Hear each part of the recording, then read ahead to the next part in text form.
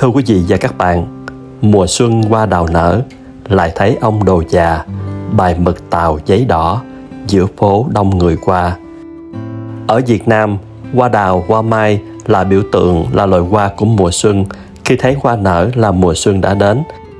Ở nước Úc cũng vậy, khi đông tàn xuân sang thì lại gực gỡ sắc hoa đào ở nhiều con đường, góc phố. Và ngay bây giờ, mời quý vị và các bạn cùng với mình xem các màu hoa đào được trồng tại nước Úc nhé.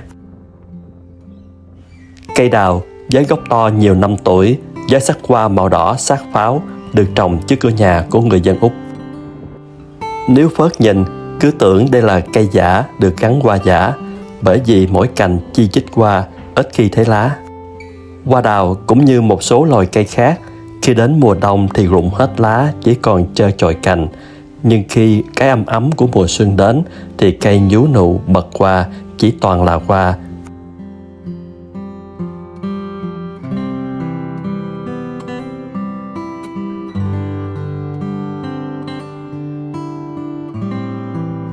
Năm nào cũng vậy, mỗi khi mùa xuân đến là con đường này được nhuộm bởi một sắc hồng.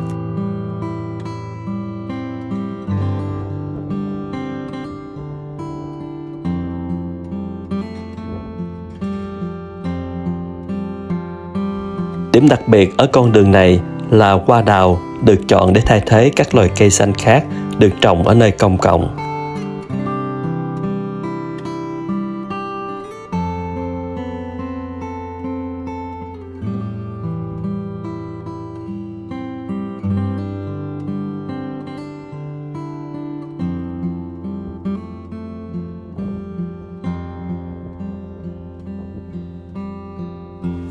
Tính ra cây đào cũng có sức sống mãnh liệt.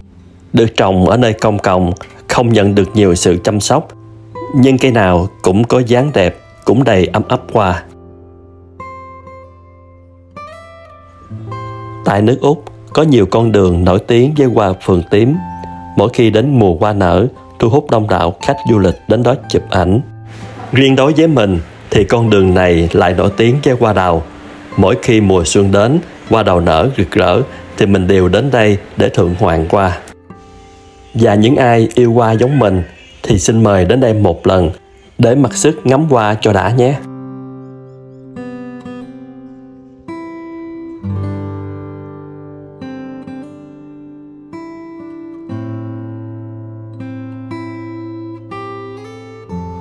Những cây đào ở đây có gốc thụ, sần sùi, dáng cây thì tròn đều rất đẹp. Theo mình được biết thì giá cây đào giống không hề rẻ.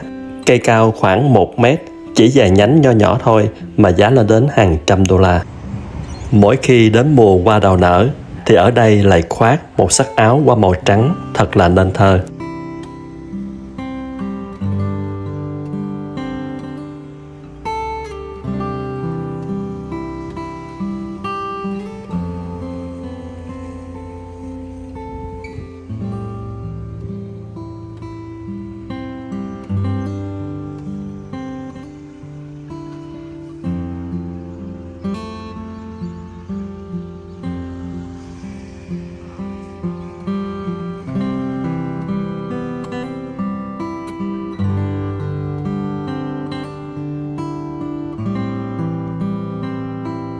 Nếu như Nhật Bản được xem là xứ sở của hoa đào, thì Úc được xem là đất nước coi trọng thiên nhiên, yêu mến cây xanh, trong đó có nhiều hoa đào.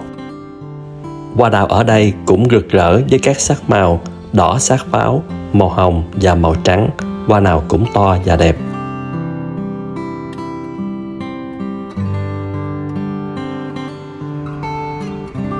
Quý vị và các bạn vừa xem các sắc màu hoa đào do kênh Thảo Hiền Cuộc Sống Úc thực hiện.